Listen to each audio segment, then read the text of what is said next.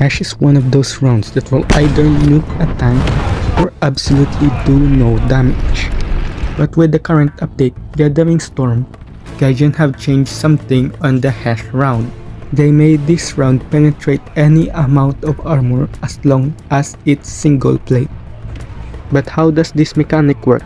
And how can it benefit tanks that uses HESH round? Firstly, we need to understand how does HESH round work before the update. Now before we start our video, yes this is VerDen and yes this is my voice reveal. The reason why I sound like this is because there are people around my house. Now let's get back to the video.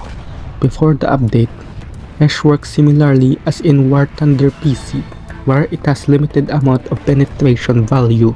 However, after Gathering Storm, HESH has been completely overhauled into being able to penetrate any amount of armor as long as it's single plate. But, how does this mechanic works? It's simple. HESH completely ignores the amount of armor of any tanks no matter how much angled it is.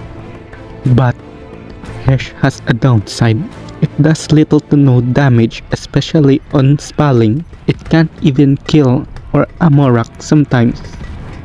Anyways, this is the end of the video.